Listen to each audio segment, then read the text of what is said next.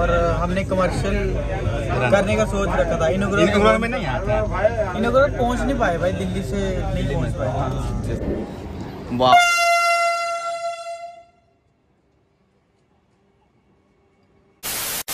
तो guys finally हम लोग कोडरमा पहुँच चुके हैं। काफ़ी मशक्क़तों के बाद। सो so, अब गाइस क्या है कि अब वंदे भारत आने वाली है अलाउंस भी हो चुकी है। तो so, ये कोडरमा स्टेशन है वो देखो इंडियन फ्लैग हमारा। सो बहुत काफ़ी अच्छा इंटरेस्टिंग ब्लॉग होने वाले तो ब्लॉग पे एंड तक बने रहना। हाँ। जन शताब्दी आ चुकी है। आपको दिखेगा।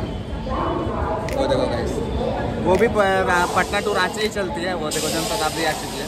लेकिन ये पुरानी रूट से चलती है हाँ पुरानी ये गोमो के जाएगी बट अपनी जो नई रूट है जो कि बड़का काना हजारी बागों की बनी है वो काफ़ी ज़्यादा खूबसूरत है गाइस काफ़ी ज़्यादा है इतना ज़्यादा है कि आपके मन को मोह लेने वाले वो नज़ारे पहाड़ टनल झरने बहुत बहुत बहुत ज़्यादा खूबसूरत है तो आपको ब्लॉग में एंड तक ज़रूर देख आ गया।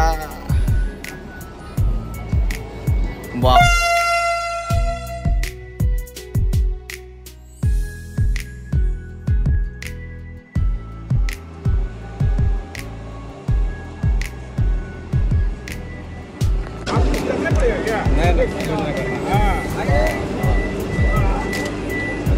उतरने दो उतरने दो। चलो आराम आराम से स्टॉपेज है यहाँ पर, कोई दिक्कत अरे भाई, विशाल विशाल भाई, विशाल विशाल भाई। सब, विशाल भाई मिल गया बताओ भाई। कैसे हो भाई? बस भाई, विशाल भाई, आपका ब्लॉग डेली देखता हूँ।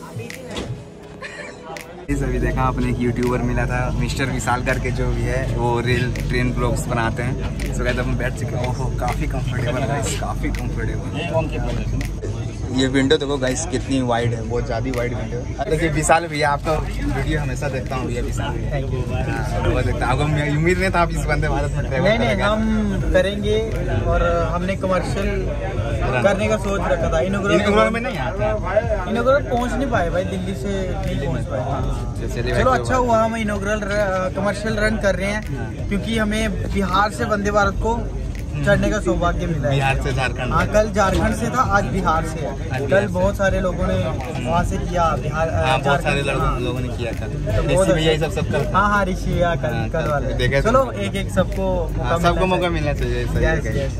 तो इसी इसी कोच में हाँ। जी जी, मेरा ये आगे को।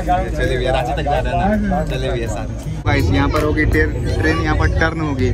वो देखो कितना ना अच्छा वो तिलैया डैम है वो। देखो गाइस ये डैम आ गया। और ऐसा ही सुंदर सुंदर नज़ारा भी और आएँगे गाइस